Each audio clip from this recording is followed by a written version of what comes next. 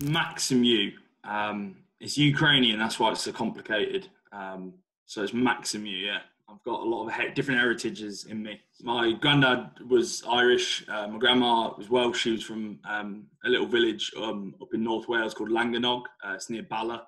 Um, so we used to go there a lot as kids. Um, used to like, mum's side of the family. So um, the little um, family cottage was called Tyrpeg, which I'm pretty sure is Welsh for tollgate because it was a little uh, mining tollgate. So I've seen a lot of North Wales, but not so much of the South. Really excited to join the Dragons. Um, it's clearly like a, it's clearly a region on the up. All you need to do is sort of look ever since Dean's been in on on the results, and um, it's just a place that's very ambitious, and um, that sort of suited me, and it's an exciting place to be joining. So I met with all the coaching staff pre-lockdown. Um, so I met that was a while ago, but then actually meeting the lads, it's been a bit of a weird one, obviously with coronavirus. So I've moved in with um, Jonah Holmes, who's kicking about in the flat somewhere because we knew each other from Leicester days.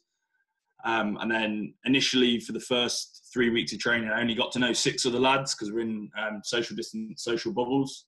Um, so that's been a bit weird.